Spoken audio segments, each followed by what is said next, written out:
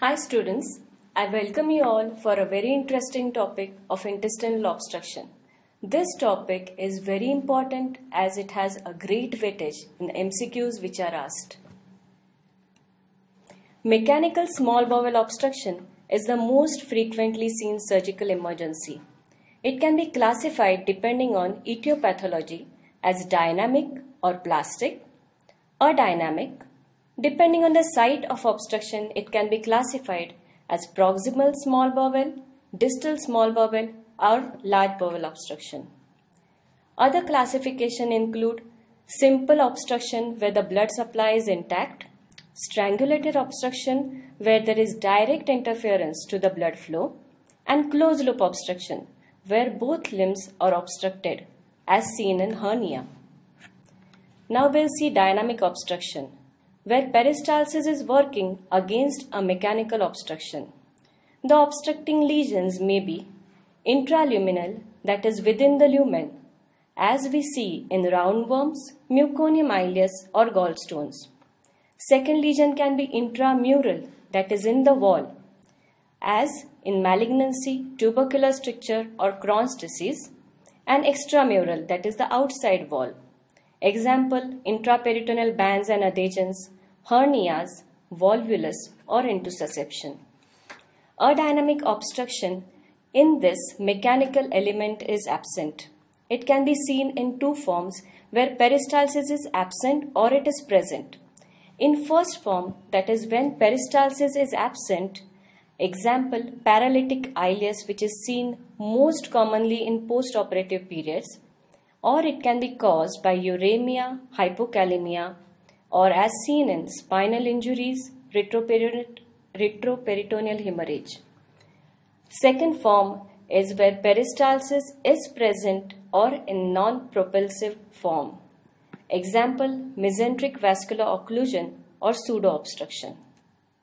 The other common causes of intestinal obstructions are mainly adhesions, second is malignancy, third hernias which can be external or internal, then comes inflammatory bowel disease, fecal impaction, volvulus, intussusception, and in neonates, atresia.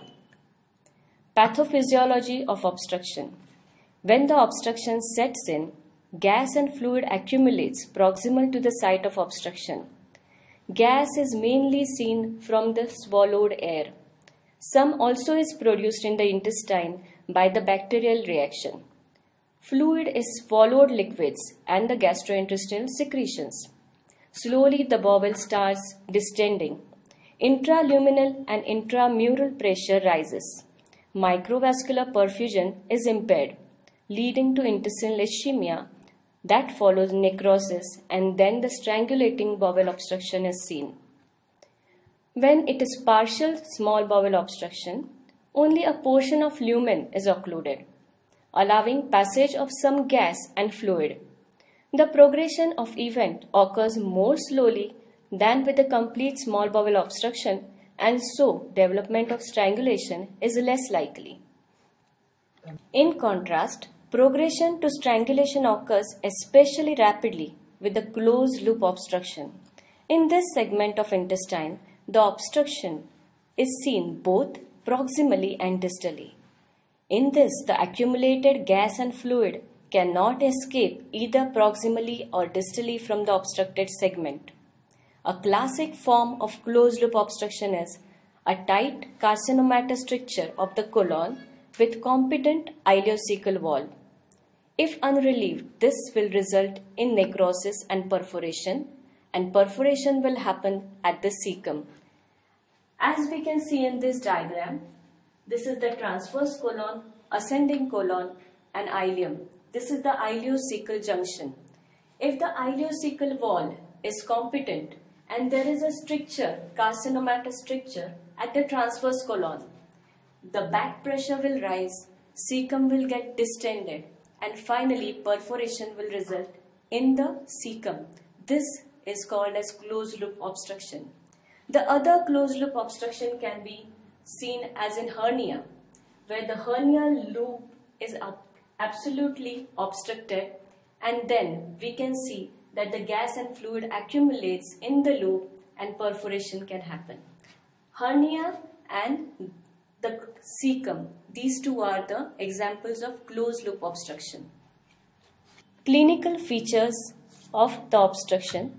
The classic symptoms are colicky pain, distension of abdomen, vomiting and absolute constipation. Symptoms will differ depending on the age of the obstruction, the underlying pathology, the presence or absence of intestinal ischemia, and site of obstruction, depending on proximal or distal small intestine or large intestine. As we can see in the slide, proximal small bowel obstruction, in that vomiting will be early and profuse with rapid dehydration, distension will be minimum, and you can see very less fluid levels on the abdominal radiograph. Distal small bowel obstruction, pain is predominant with central distension, vomiting is delayed, and multiple central fluid levels are seen on radiograph. Large bowel obstruction, distension is early and pronounced, pain is mild, vomiting and dehydration is late, and proximal colon and cecum are distended on X-ray of abdomen. Late manifestations that will be seen are dehydration, oliguria, hypovolemic shock, pyrexia, respiratory embarrassment, peritonism, and finally septicemia. Strangulation. It is vital to distinguish strangulation as it is a surgical emergency. Diagnosis is entirely clinical. Shock indicates underlying ischemia. Pain is never absent. Localized tenderness associated with rigidity and rebound tenderness is seen. Diagnosis is very important and the goals are distinguish mechanical obstruction from ileus, to determine the etiology of obstruction, to differentiate partial from complete obstruction, and to discriminate simple from strangulating obstruction. Now, in examination, meticulous search for hernias, particularly inguinal and femoral hernias, should be done. On lab, hemoconcentration and electrolyte abnormalities will be seen. As we can see that there will be vomiting, so hemoconcentration and electrolyte abnormalities. Mild leukocytosis is common. Presence of gross or occult blood in stool is suggestive of intestinal strangulation. The diagnosis is mainly confirmed with radiographic examination. X-ray erect abdomen is the investigation of choice. The finding most specific for small bowel obstruction is the triad of dilated small bowel loops, which will be more than 3 centimeters in diameter. Air fluid levels will be seen and paucity of air in the colon. Now, this is the very important question which is asked in the MCQs that which is the only investigation which will give you diagnosis of the intestinal obstruction. And of course, the answer will be X-ray erect abdomen.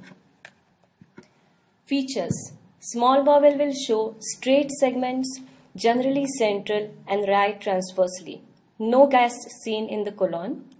The jejunum will show valvulae conniventes that completely pass across the width of the bowel and regularly spaced giving a concertina or step ladder effect. Ileum is featureless. Cecum will show rounded gas shadow in the right iliac fossa and large bowel will show haustral folds or haustrations. Fluid levels appear later than the gas shadow as it takes time for fluid and gas to separate. In infants less than 2 years of age, a few fluid levels are commonly seen in the small bowel. In adults, two inconstant fluid levels may be regarded as normal. These are one at the duodenal cap and second at the terminal ileum. Computer tomographic, that is CT scan, is 80 to 90% sensitive and 70 to 90% specific.